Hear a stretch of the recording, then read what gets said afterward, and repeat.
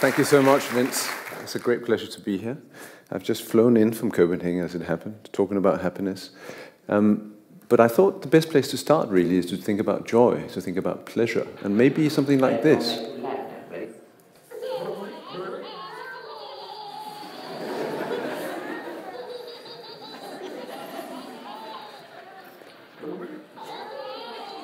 Just goes on and on. Why are they so happy? Why does it make you feel so good? Imagine what it's like when they're crying. so, this, of course, is great for Monday mornings or days when it rains as much as it does today. Um, four laughing babies on YouTube will get you that fix. Um, at the same time, it's also very clear, I think, that we are living in a time of, a, of great change. And it's also very clear that there is something tragic about this consciousness that some of us are endowed with, and maybe not the president of the US, but most of us.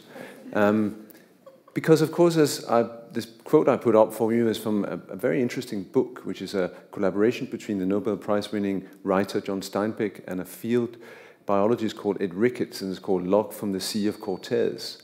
And he says in there, man might be described fairly adequately, if simply as a two legged paradox. He has never become accustomed to the tragic miracle of consciousness.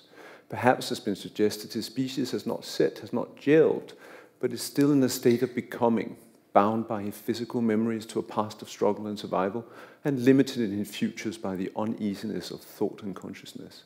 And that, of course, is the paradox, isn't it? We are very good at predicting things, we're very good at remembering things, but we are finding it very difficult to be in the now. And yet, of course, we need to find out what is going on in our brains as we do this. Here's a man being trepanned, as in the famous painting by Hieronymus Bosch, the neurosurgeons that I'll show you later that I work with are not quite the same, although they've kept the hip headgear. Um, we tend to put people in scanners. Most of you will have been in one of those. This is an MRI scanner. When you do that, you can see what is inside. The physicality of the human brain is very clear. And yet, of course, these 15 brains, I guess nobody will be able to tell me which of those are men and which are women and which of them is a famous BBC TV presenter who was not particularly happy being in my scanner. And of course, you can then start to look at how the brain develops, and you can even put more people in the scanner, um, which is, of course, very exciting. But what is it then that we see? Here's an artwork by my friend Annie Cattrell, who's taken a photo of her niece, of herself, and of her mother. And of course, the iris is the only part of the brain that we can see with the naked eye. And what we see then becomes a real kind of interesting question. Most of you will just see black blobs up there, black and white. And yet, if I show you this, you cannot help see my two daughters playing in the, in the sun. So, what is it about the templates that we make? What is it about having to make meaning of things that we have to have these templates? Are we, in fact, prediction machines? So, look at this little baby who's got a cochlear implant, which means that this baby is now able to hear, but what the baby hears is very different. It's like this. Did anybody understand any of that? And yet, if I give you a template, which is what most of us will hear, not just the eight channels that I played you. The wife helped her husband. It's very difficult not to suddenly hear it, to make sense of the noise. And of course, that's what we do. We tend to experience the world. Here's a, a, a revolving brain, and most people in Oxford, when they see this, they say, Ah, yes, Morten, you are Danish. Alas, poor Yorick, I knew him so well. And of course, I am Danish, I can't run away from that. And what I'm showing is a form of blobology. So as you can see up here, really what you see is if I was sort of facing you this way, this is the back of my brain, this is the front of the brain, this is if I was lying down, which I hopefully won't be doing tonight, and this is if I'm looking at front of you. And in red, you get the visual cortex. So in other words, things come in through the retina, and then it basically comes to the back of the brain. And then in dark blue, you've got the sense of, of of hearing, and in light blue, the sense of being touched, and then in orange and yellow, what it's like to smell and taste things. But of course, the key things about any kind of map is really where they are the white spots. On the old maps, they wrote, Here be dragons. And of course, that's where we really want to go. But before we went there, Annie had the great idea of actually making a set of sculptures of this. So if you go across to the Wellcome Museum, you can actually see one of the first neural portraits of what it's like to really experience the world. Except, of course, the one thing we don't show you here is why does it have to mean anything? We're just showing you the five senses are in the brain. And, you know, we were fairly successful, but of course it was neurophrenology. The idea that we just have blobs. This is a fairly good portrait of myself from the 17th century, where I'm sort of showing you exactly where the different blobs are on the brain. But of course, that's not how the brain works. The brain is a very complex network. In fact, borrowing a quote from Thomas Aquinas, quid quid recipitur ad modum recipientis recipitur, which basically means that the content is shaped by the container. And so in my work, I can basically work out what the wiring is in your brains using these MRIs, and I can look at how traffic is flowing on that wiring, and then I can make a computer model that can basically give me the same kind of result. And then, of course, once I have a computer model, I can start to take it apart and I can find out what are the important, the necessary and sufficient components that are necessary. So it becomes something more than neurophrenology. And I do this with this wonderful man from Barcelona, Gustavo Deco. Everybody should have a friend in Barcelona. It means you can go there on a regular basis. That really is a pleasure. But of course, I, when I talk about pleasure, I'm not talking about hedonism. It's not just the pursuit of pleasure, it's something else. Because, of course, when it comes to pleasure, there's a cycle. Unfortunately, I, as I flew in, I had to content myself with some pretty not so good coffee. And at the moment, I'm in a wanting phase. I really, really would quite like to try some very good coffee. So I'm sort of in this kind of phase. I'm foraging for good coffee, and there may be some here. And once I have engaged with that, I then start liking it. And at some point, there will be great moments of pleasure during this process. And at some point, I can start thinking about science again. So pleasure really is what enables those phase transitions. So it's absolutely important. Now, I've done a lot of neurophrenology in my time. I've put lots of people in scanners doing all kinds of things, eating things, uh, having social interactions, even taking methamphetamines. It was surprising, this was before crystal meth, it was before Breaking Bad. Um, and it was surprisingly easy to get the, uh, the ethics for that. And what you find when you do this is that, of course, you get pleasure the first time you take it. So this is, in fact, the whole pleasure network being active. We also were able to get ethics to do gambling which of course is also one of the great vice and pleasures of many people. But the one thing we couldn't do was sex. So I had to ally myself with a Dutch person, Janniko Georgiadis, who sort of is the master and Johnson's role into one person.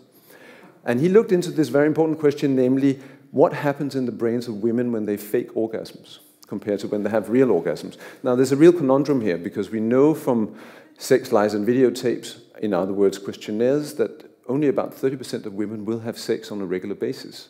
I don't think many men would stand for the same thing, but the key thing really is to think about what happens in the brain. And as you can see up here, when you fake an orgasm, there's only a little bit of motor activity, but very little in the white spots in where the pleasure network is. On the other hand, when you have a real orgasm, you actually get that whole circuit. And you can say it's a bit frivolous to talk about sex um, on, a, on a rainful day in London. But of course it is. I am Scandinavian after all, right? So although not Dutch. But really what the reason why I want you to show these things is because you can see how you have different networks switching in and out. And one of the things that happen when you have affective disorders, when you have anhedonia, the lack of pleasure, is that you can't make that transition. You end up being addicted to things. You spend all your time here and there's very little pleasure, and you go over that cycle quickly over and over again, or you can't really get to those things. So the key thing here really is to think about how it is that there's almost like a choreography, a dance of how different brain regions are talking to each other as we go through this cycle. And that, of course, that traffic, that can be jammed. There can be closures of the roads. And trying to think about how we can unlock those, unblock those, is really how we can give people more pleasure. Now, you can do things to rats that you can't do to humans. You can take things out, and you can find out that there's a network of hedonic hotspots that if you stimulate here, in the ventral pallidum or in the nucleus accumbens, the rat will lick its lips more to sugar water, which is how you measure pleasure in, in, other, in other animals like rats. And you have a very similar kind of network in humans. And so really thinking about pleasure, before we start thinking about well-being, is thinking about how this dance of different regions go together. And there are many ways that one can change those. One of them is my good friend and colleague Tipu Aziz, who's talking to somebody who uh, was very impressed with his work. Um, because what he was able to do is, was to stick an electrode into a girl with dystonia, which is a terrible motor disease. Um, that basically means that she's completely normal, but she's just unable to put her hands out and hold them in front of her. Now, if you drill a hole into her brain and rebalance the network in a part called the globus pallidus internal segment on both sides and put a battery under the chest like a pacemaker, you can basically transform this girl's life. She, if you met her today, she would be exactly like a normal girl because this is what happens.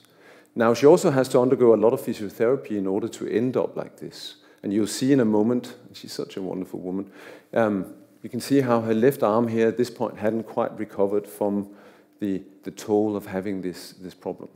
So this is quite exciting that we can do this, that we now have such a good understanding that we can rebalance these networks. We can even do it for things that you can't see. If you were to be amputated, about 25% of those who get amputated get chronic phantom limb pains, and that's really quite awful. Earlier, people thought they could just amputate more, but then you just get a larger phantom. If you give people morphine, it works for about two months, and you're left with the constipation. Um, but if you, on the other hand, stimulate deep in the brain, in the periaqueductal gray, at 20 hertz, you can make that pain go away. You can have pleasure. And as it happens, when you scan people while they're doing that, you get activity in the pleasure circuit, not surprisingly. Now, if you stimulate at 90 hertz, the pain becomes unbearable. So, in other words, it's the same circuit that subserves pain and pleasure. And when Annie heard that, she said, We've got to make another sculpture. So, here's another sculpture instantiating what pain and pleasure really is in the brain. Now, how am I doing on time, sir? You've got um, four minutes if you can do it all. Ooh, I can do something better, I think. Let's talk about music. So when I when I talk when I tell my students about this, they look up and say, "Who's that black guy? That's not Obama, is it?" Steven Pinker famously said that music was like auditory cheesecake. It could vanish and the species would be unchanged. I think he's completely wrong. And I think James Brown will show you why.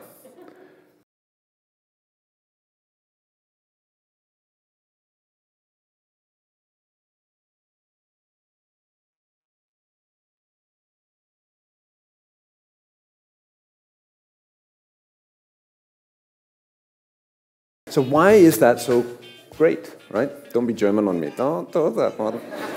um, look at the figure in vase behind me. You can either see the vase or you can see the two faces. You can either hear the rhythm or you can hear the guitar going and it's all about prediction error. It's all about having a template and matching that template. So we took the classic funk beats, um, and here hopefully there will be a simple one where we just tried something like this. Not particularly danceable, right? Maybe with a handbag.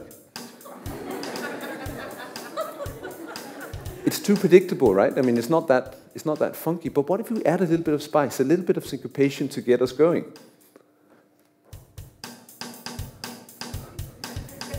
There's a, not quite James Brown. There's not the yeah. But you can tell how because it's a little bit more unpredictable, it's more interesting, and so we like it. We like to move. We like it. What if we add a lot of complexity to it.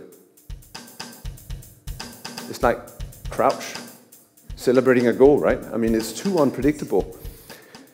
So we were interested in this. We asked people, and it becomes an inverted U shape. The kind of things that are too predictable are the things that you basically don't particularly want and don't particularly like, by the things that are just at the right kind of level of predictability is what you like. And so we couldn't help ourselves make one of these models that I alluded to. We make a model and try to see what are the components that are important. It turns out that when you are in the groove, you are metastable, which is a term from dynamical systems, and you can measure this very precisely.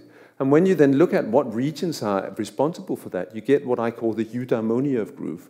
Namely, you get the pleasure circuit, which is the frontal pit of the brain, but also parts in the back. So a whole network that observes the meaningfulness of music the reason why you want to make dance. And of course, we have to go back to Aristotle because that's exactly what he said. He said, let there be James Brown. No, that's not what he said. He said, hedonia and eudaimonia is basically what happiness is all about. And the lack of pleasure, of course, anhedonia is one of the key components of most mental illnesses. So I'm betting on that we could help learn about happiness by understanding pleasure, but it's not going to be enough. We've got to understand about eudaimonia, and music is a good thing. And not only music, because together with Robin Carhart Harris, we've been very interested in psilocybin and various other drugs, which are incredibly meaningful for reasons we don't understand. But for instance, it's one of the things that can break this cycle. About 60 to 70% of patients that try psilocybin together to quit their nicotine addiction will actually go through it. But at the end of the day, though, it's not about psilocybin, magic mushrooms. It could be about music. It's certainly not about deep brain electrodes. It's about being with other people. Here's my good friend Roman Krznaric, who, who has written a book on empathy, and together we've made this museum called the Empathy Museum. If you haven't seen it, you should go. And then you should come next time we do one of our pop up things. And then you might be able to go and walk in the blue shoes of a crazy professor and listen to the stories that we tell ourselves, or in the high heels of, a, of somebody who works in a different kind of life. So I think there's a lot to be done. Um, I think the key thing, though, and I'm very happy when Vince told me that he is going to do something on poetry, because, of course, poetry is perhaps one of those things that really gives us meaning, that really gives us a sense of, of joy. And Derek Walcott, sadly, is no longer with them, but he said, for every poet, it is always morning in the world. History, a forgotten insomniac night. History and elemental awe are always our early beginning because the fate of poetry is to fall in love with the world in spite of history. Thank you. Thank you.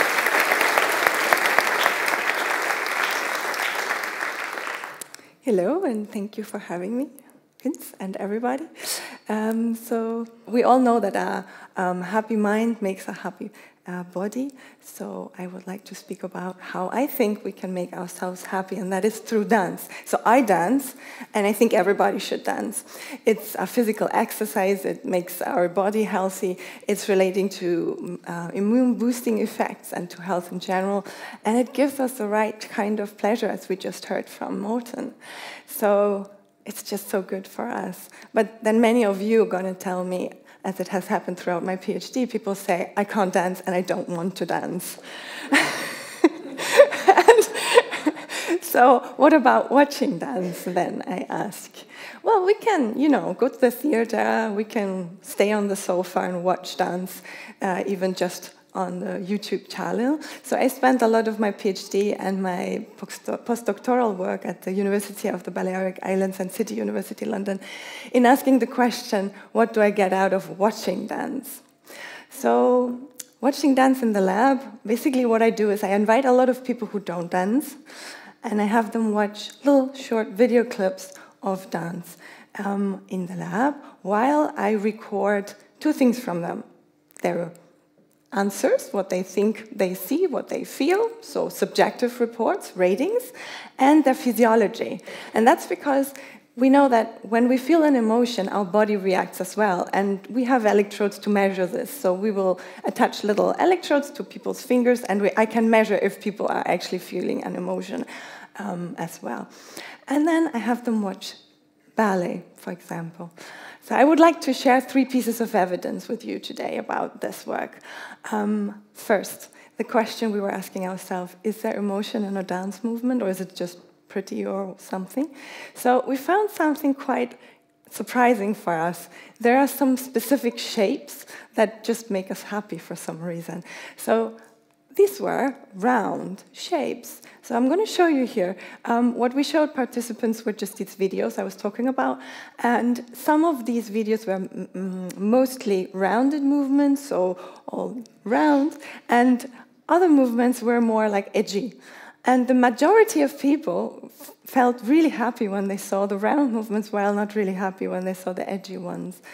So that's important. And if we look at the entire art history, for example, a lot of depictions of dance movements were actually such that depicted round movement, like back bends or round of the arms and so on, and that across cultures and across times.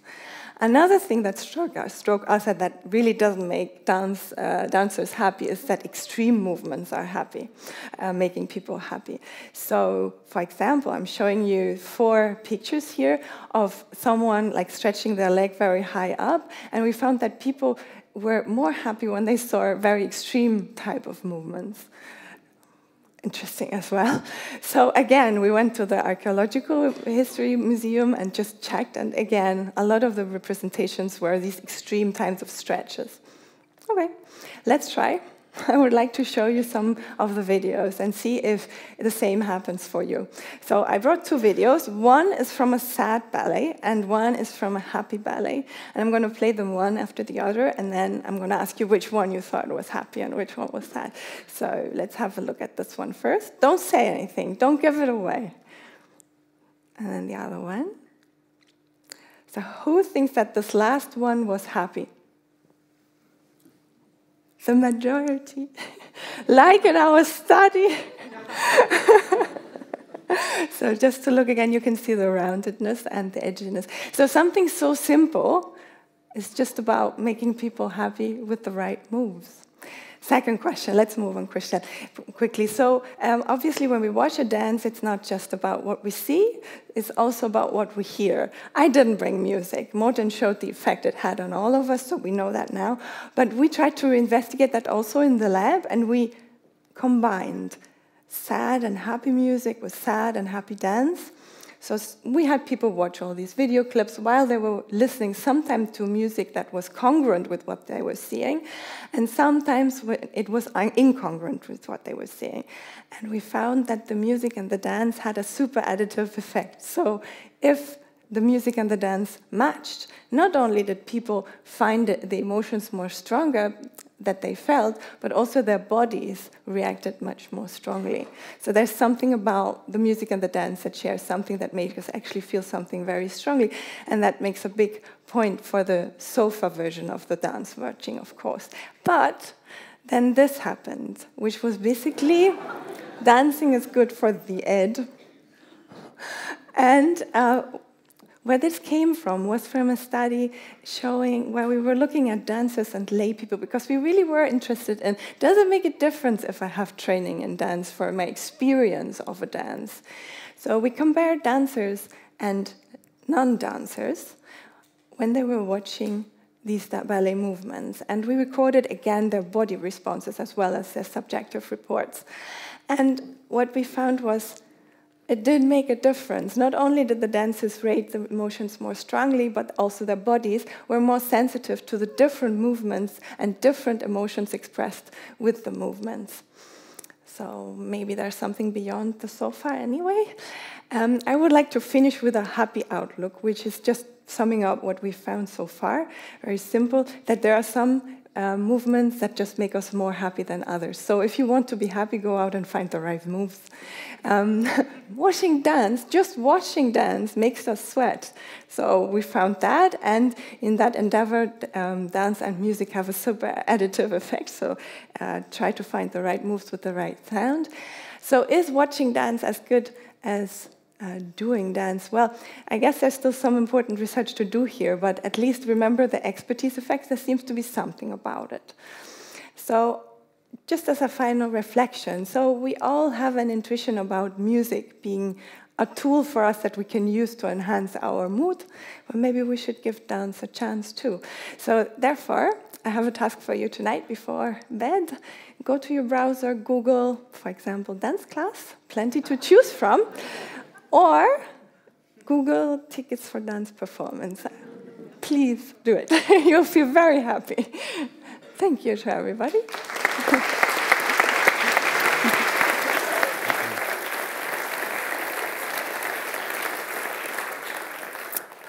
Good evening, everyone. I'm going to start with a deep and dark confession. There is no dancing in this presentation, okay? I'm disappointed too. Um, I obviously wasn't briefed properly. Um, so I'm going to make the conversation this evening a bit broader, um, and I'm going to talk about some lessons in happiness.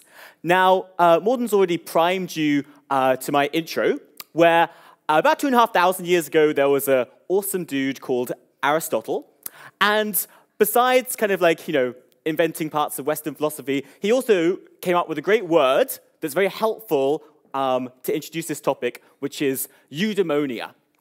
And essentially, what this means is that life can be worth living, and that we should be aiming towards living a life that's worth living. And we still use this word today to differentiate two different types of happiness eudaimonic happiness, which is basically our satisfaction with life. You know, we could describe it as trying to measure human flourishing, but really just asking people to reflect on their life and to tell us how satisfied, how happy they feel. And in contrast, we have hedonic pleasure, you know, immediate feelings of satiation or happiness or pleasure. So I think so far this evening, we've talked a lot about joy and pleasure in the moment, and we haven't talked much about satisfaction, about our feelings of happiness with ourselves and our lives. And that's what I'm going to be talking about this evening. So, the way that we try and measure this in people is mostly in surveys. So, the kinds of questions that we might ask people is things like Do you agree or disagree with, in most ways, my life is close to the ideal? So far, I've gotten the important things out of life. If I could live my life over, I would change almost nothing. And because there's quite a lot of people interested in happiness, from governments to NGOs to academics, you're actually able to ask quite a lot of people these questions. So there's something called the World Values Survey that actually measures hundreds of thousands of people all over the world over time and asks them these kinds of questions, as well as you know, many, many other surveys and measures we've got. So everything I'm going to talk to you about this evening is based on these very large samples of people being asked these questions about, about how satisfied they feel with their lives. So one of the questions that I'm going to try and answer first is about who is happiest. So who in these hundreds of thousands of people reports being most satisfied with their lives? And maybe we can get some lessons there about what kinds of people are happier. Now, before I, I go into this, I do think there's an important caveat to make. So, when anyone, whenever anyone is trying to convince you with survey evidence, I want you to think about this graph. This graph is a correlation between per capita cheese consumption and the number of people who died by becoming tangled in their bed sheets. Now, the point I'm making is that some of the evidence I'm showing you is just a correlation. It's just saying, like, hey, people who are like this report being happiest. It doesn't mean that because they are like that, that caused them to be happy. It just means that it's a correlation. Okay? Um, so I'm to start off and we're going to talk about age. So when we tell teenagers that, uh, that this is the best time of their life, that um, it's amazing to be young and to be a student and to have no responsibilities. That's kind of true, um, because it seems like they're certainly happier than people for most of their adult life. But actually, the really old people, they're much happier. Um, so there is this very well-known U-shaped curve in happiness. And this has been shown in across samples, across people, you know, in, in these vast numbers of people that we ask. This is the pattern we see in age. And to be honest, we're not exactly sure why this is. Probably one of the most prevalent uh, explanations is that it's really about expectations. So, as we get older, we have these expectations about what life should be like. And then, unfortunately, we constantly feel like we don't actually, our lives don't meet those expectations. So as we get older, the kind of gap between these expectations becomes more realized, and so then people report being less satisfied with their life. And then as we get older, we kind of adjust our expectations, and that's why people, when they get you know, more, uh, more elderly, that they get happier. And this isn't just shown through surveys. Um, this is the rate of antidepressant use across age. So again, we see the opposite direction because this is antidepressants. Um, and you can even see this evidence in monkeys. So um, some researchers went and asked all the zookeepers, um, or many of the zookeepers across the world, and asked them, how happy do your monkeys seem? Um, which is, must be kind of an odd, odd question to get. Now, the zookeepers had no idea what the study was about. They weren't told why they were being asked this. But then the researchers were able to look at the age of these primates and then the reported kind of uh, happiness of these primates. And again, the same U-shaped curve arises. Um, what's interesting is that it depends on the kind of questions you ask. So you can kind of see that in general life satisfaction questions, you see the same kind of shape. Is my life worthwhile? You see kind of a very similar shape. General, how happy are you? You see a general shape. But actually, you see the anxiety levels are much higher in midlife. So, this is an alternative explanation for why this is. That basically, life becomes more stressful in midlife. Maybe we have more responsibilities placed on us. Maybe, you know, you've got parents to look after, children to look after, and that anxiety could also be an explanation. Another um, kind of group that does seem happiest is people who report being satisfied with their relationships. So that's both romantic relationships, but also in terms of people who have lots of friends, who spend lots of time with their friends. This is one of the biggest like, predictors of who is happy and who's not. Basically, your personal relationships. So you can see here that people who say that they're satisfied with their relationships report being much happier than people who report not being satisfied. Now, another one is money. And money gets people really interested about happiness.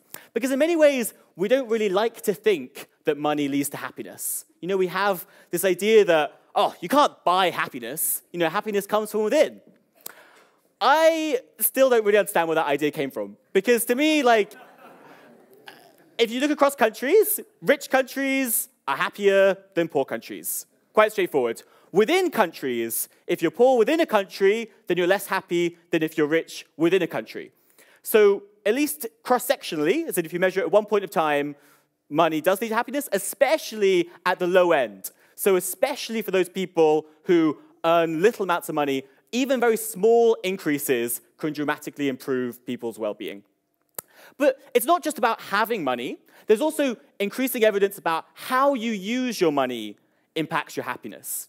So if people use their limited budget, which we all have a limited amount to spend, if we spend more of it on experiences and not stuff, then people seem to be happier from those experiences.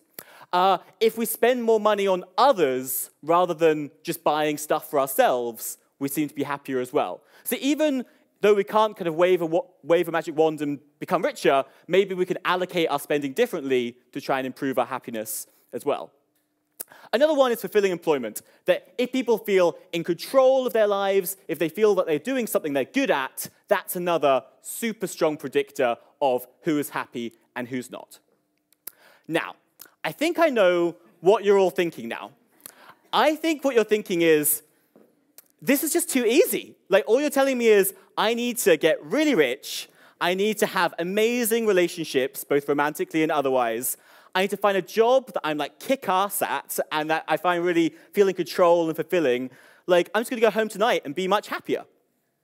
But the thing is that actually it's a bit more complicated than that. And the reason it's more complicated is because of this thing called hedonic adaptation. Now, basically, hedonic adaptation, it's not a good or a bad thing, but it changes what it means to try and pursue happiness.